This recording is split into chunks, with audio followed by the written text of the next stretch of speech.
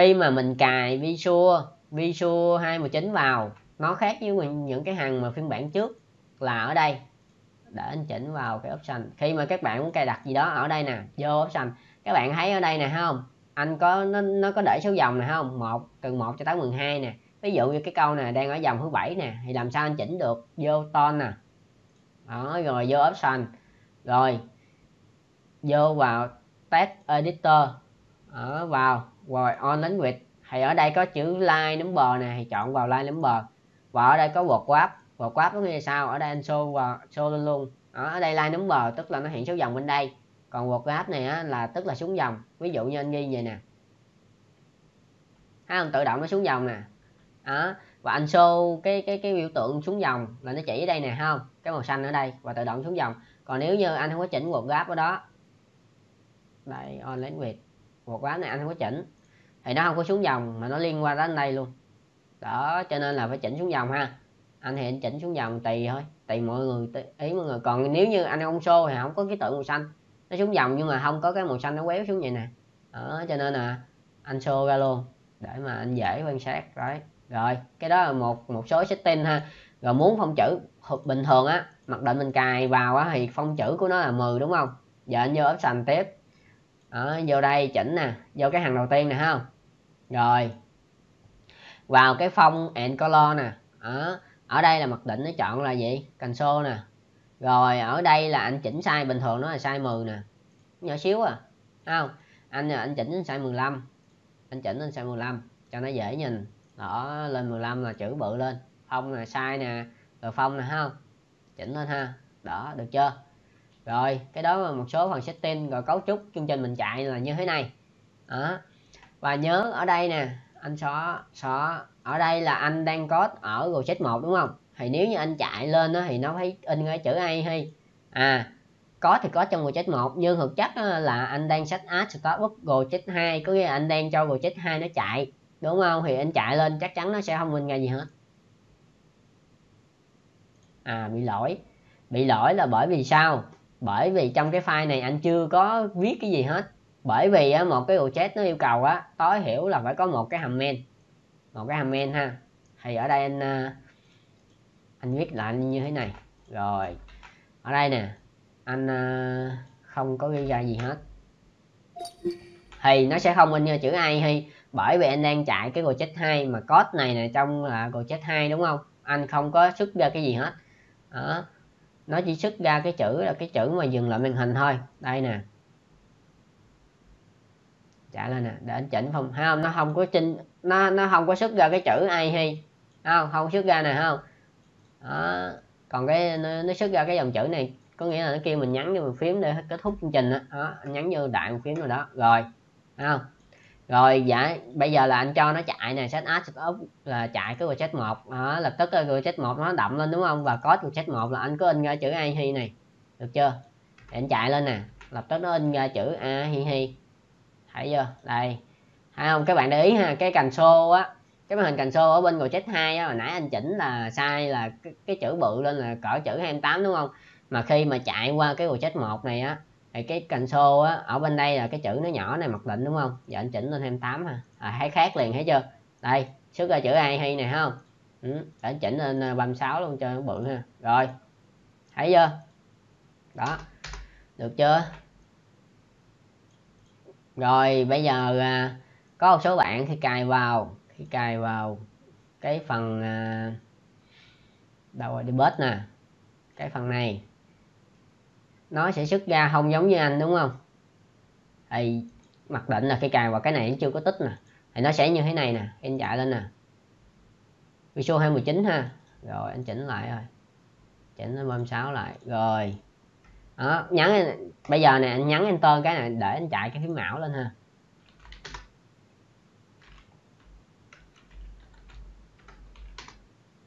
Rồi. Nè anh bấm phím mão nè anh đang trên màn hình này đúng không? Anh nhấn enter cái nè đó nó ra nguyên cái dòng chữ có cái link hư bục của mình nè. Đó, nó ra nguyên dòng chữ này nè. Thì anh thì anh không thích nó in ra dòng chữ này mà anh thích nhấn enter cái này dừng chương trình. Đó anh không thích ờ, nó in ra một một đống gì nè thấy không? Đường link nè. À, mà các bạn để ý nè thấy không? Khi mà nó chạy cấu trúc nó chạy ở dưới á, là nó sẽ lấy đường linh của mình này nó chạy. Đây nè thấy không? Thì á trong cái hư mục này họa mai á nếu như hên ở đây là đa số anh đặt theo kiểu mà tiếng anh nè cái tiếng việt không giấu nè, đó. Còn nếu như mà lỡ mà có tiếng việt có dấu đi, và vô tình á, là hàng visual này không có nhận cái link đó, nó không thấy được cái link đó, tại tiếng việt có dấu mà. Mà trong khi đó người mỹ họ họ làm ra thì họ sẽ làm là bằng tiếng anh hết, là những cái tiếng mà, những cái chữ mà không không có dấu đúng không? Cho nên là tốt nhất cái hạng mục mình đặt gì? Đặt tên tiếng việt không dấu hoặc là tiếng anh luôn. Đấy, thì nó chạy, khi mà nó chạy nó chạy hạng mục của mình nè. Đó, cái này nè, thấy không? Rồi nó xuất ra dòng chữ này thì mình thấy, anh thấy anh khó chịu. Cái anh không thích, anh chỉ thích nhắn cái là không có dòng chữ này và nó dừng trình luôn. Là phải nhắn cái enter nữa mới dừng. Thì vô đây, chỉnh ha, vô đây toàn tiếp, option. Rồi, vô cái phần, ban đầu nó sẽ lót đây đúng không? Mình vô cái phần là debug nè, debug tin nè. Rồi, chạy xuống đây. Thấy không? Thấy cái dòng là auto nè, automatic nè, clone nè the console nè when debugging stop nè hãy tích vào đây thì nó sẽ không xuất hiện cái dòng chữ kia nữa. Rồi chạy lên. Thấy không? Nhấn enter cái nè. Anh qua phím mão ha. Nhấn enter. Ở đâu rồi? Console. Rồi nhấn enter cái là nó dừng trình nè. Ờ, đó, không? Thấu xuất hiện cái dòng chữ kia nữa. Đó, được chưa? Do đó setting lại cho nó mau lẹ dễ mình dễ học. Rồi. Và cái thói quen mà khi tạo project mới á, là cứ code ra rồi chạy ra thử xuất ra một cái chữ gì đó. Thì ở đây là tùy tụi em thích xuất cái gì xuất ở đây anh xuất ra ai, ra ai hay không? Bây giờ anh không thích xuất ra ai hay mà anh xuất là welcome to Bitcoin đó welcome to Bitcoin đó.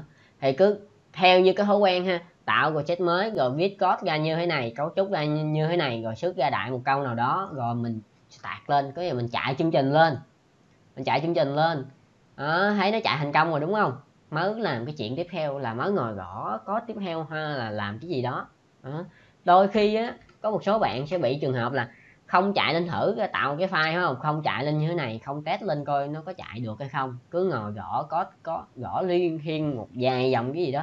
Cái cuối cùng làm chạy lên start lên nó không chạy nó bị lỗi gì đó lúc đó thì sao? Phải đi sửa lỗi này kia rồi nó mệt, đúng không? Tốt nhất là tạo một set mới rồi chạy lên thử thử nghiệm lên thử coi nó chạy được không? Chạy được thì làm cái chuyện tiếp theo, tập cái thói quen như vậy luôn. Được chưa? Đó, rồi. Anh giải thích thêm một cái nữa là ở đây này các bạn thấy để là nhân 86 đúng không? Bây giờ là cái này anh chỉnh là nhân 64 64 tức là sao? Là chạy trên nền tảng 64 bit. Đó còn ở đây là 86 tức là chạy trên nền tảng gì? 32 bit. 86 là 32 bit. Đó, đây x86 đúng không? Là 32 bit. Còn x8 x64 tức là 64 bit là chạy trên hệ điều hành 64 bit. Đó, chạy trên cái cái cái 64 bit. Còn ở đây nè, là chạy trên 86 bit. Được chưa? Là 32 bit chứ. 86 là 32 bit. Còn 64 là 64 bit.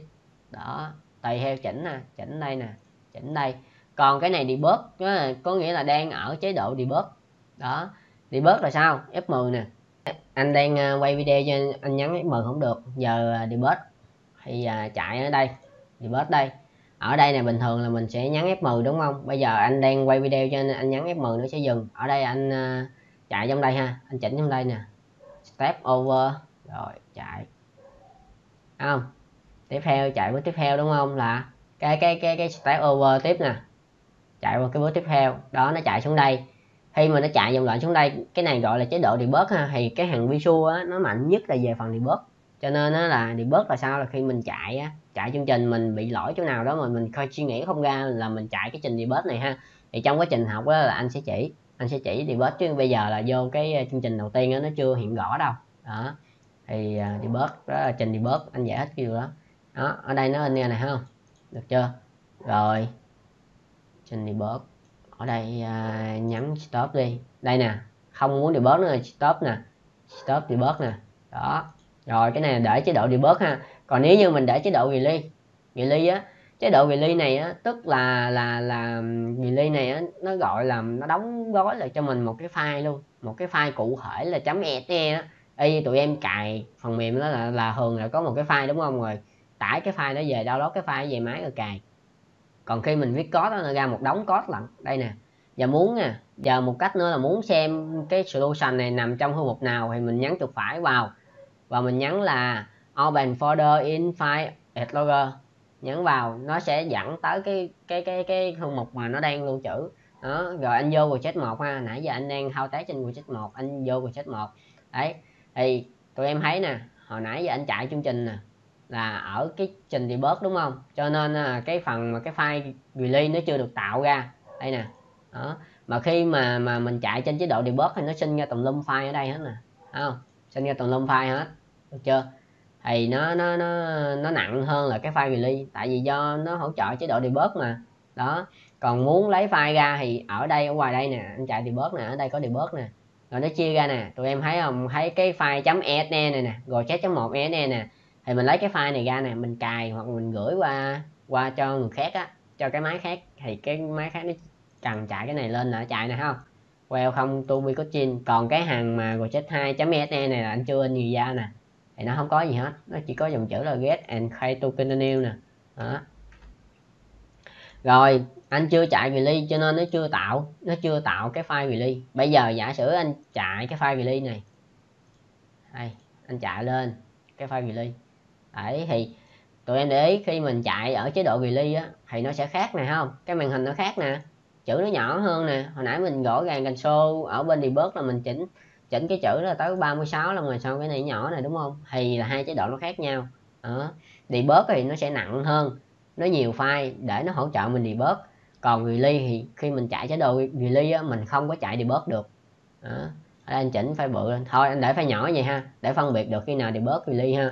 Rồi khi mình chạy với cái file release này, thì trong folder trước cái solution đó, nó sẽ tạo cái file release này. Đó, hồi nãy nó chưa có, giờ mình chạy rồi, đúng không? Chứ mình, nếu mình không chạy ở chế độ đó luôn, thì nó sẽ không sinh ra cái file release. Còn nếu như mình chạy chế độ release, thì nó sẽ sinh ra cái file release, cái folder vào project 1 do là anh chỉ mới build gì? Build cái hàng project 1 thôi. Còn project 2 anh chưa có build. Cho nên nó chỉ sinh ra cái file project 1.exe này. Và anh chạy cái file này nè. Chạy lên, ha. Đó thì giữa sự khác nhau giữa release và debug là như thế. Thì mình đang ở chế độ release thử anh debug ha nó sẽ không cho ha. Không? À vẫn cho hả? Release vậy là 219 này nó nó cho debug rồi. Và chế độ release vẫn cho. Vẫn cho hả từ từ.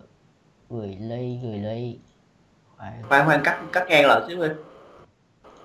Rồi ok ai vậy cường hả? Ồ release vẫn chạy debug được mà. Đúng rồi đúng rồi vậy là thằng hồi xưa là thằng release không chạy debug được. Không hồi đó giờ tôi ờ, tôi làm khi tôi vô làm chạy bình thường mà chỉ có hai cái là cái thằng release á thì nó nhẹ hơn và nó dễ đóng gói hơn cái thằng debug đúng rồi release là nó nhẹ hơn tại vì debug á, là nó hỗ trợ cái trình debug có nghĩa là cái hàng visual nó nặng chỗ nào nó nặng thứ nhất á. Có nghĩa là nè bạn nào xài Depsy hoặc là xài cái trình công cụ khác để code á thì các bạn sẽ thấy rõ ha.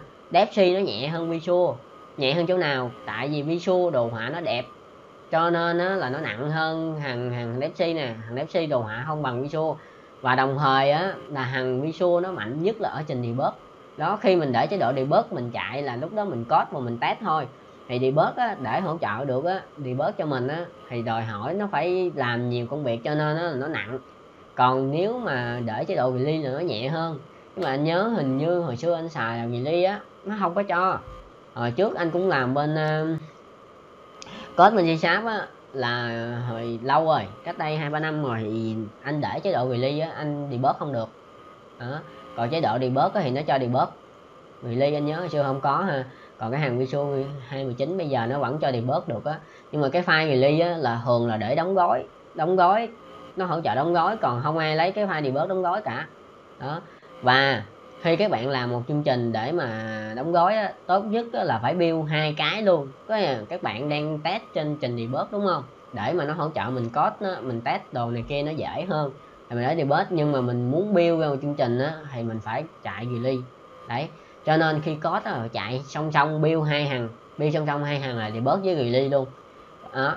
Và đồng thời nè bây giờ anh xóa cái chế độ ly nha. Anh xóa cái file ly đi.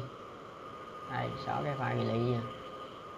Thì mình không sẽ tạc lên nhưng mà cái file ly này vẫn có cách. Làm ra có nghĩa là sao? Là build. Đây nè. Trước khi build á, thì là clear solution đó là xóa những cái file không cần thiết đi.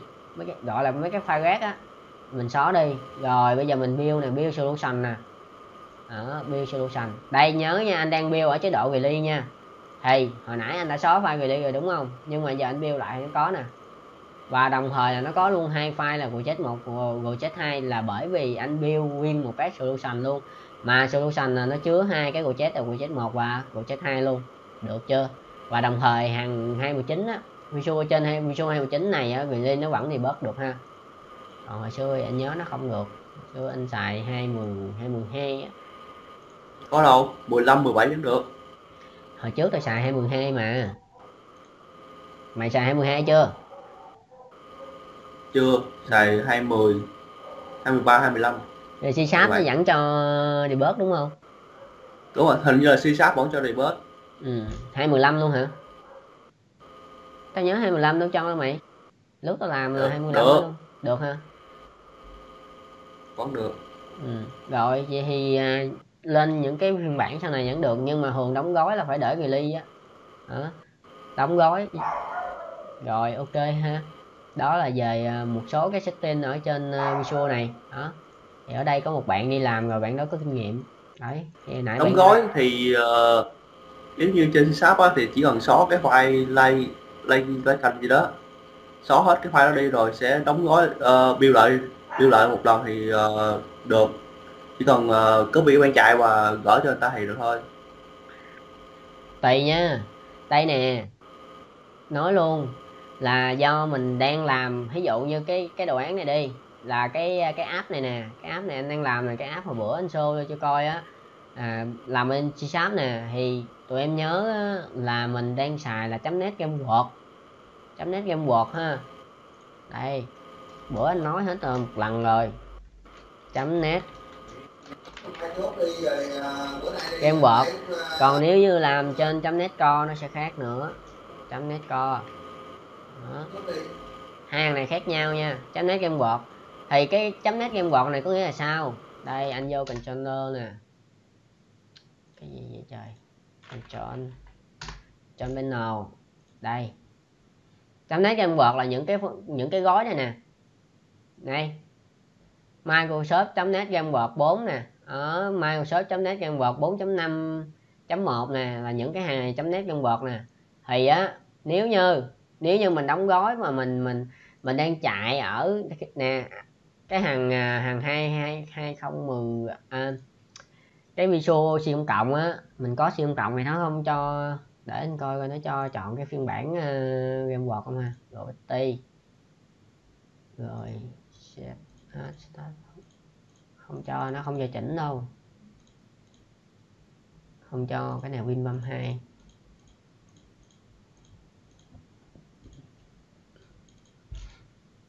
không cho. Qua chi chat nè. Rồi đây, thấy không? Tụi em thấy nè. Anh đang làm trên game word là gì? Chấm nát game word 4.5 đó, thì khi mà mình có nghĩa là cái chương trình này mà anh đóng gói là một file cài đặt. Anh đóng gói là một file cài đặt. Thì anh đang làm là trên là cái gì? Cái game word 4.5 nếu như cài qua cái máy khác mà nó không có game word 4.5 mà nó xài game word 3.5 hoặc là 4 chấm trở xuống. Đó, nếu không có 4.5 này cài vô bị lỗi, cài vô bị lỗi. Vậy thì muốn không bị lỗi thì phải cài cái em word 4.5 vào rồi mới cài cái chương trình của anh vào. Đó đó là một cách.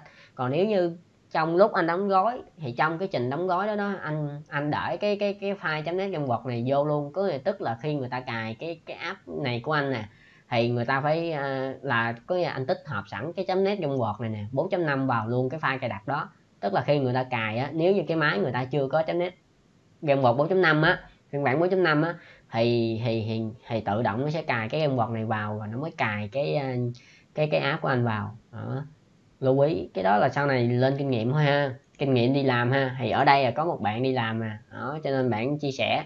Đấy, cái sẵn anh chia sẻ kinh nghiệm của bạn đi làm luôn. Đó. thì anh, có thể là anh ờ, nếu như bạn không nói thì có thể anh không? Không chia sẻ là lý do vì sao? Vì anh sợ là chia sẻ là tụi em sẽ bị gói thôi. Đó.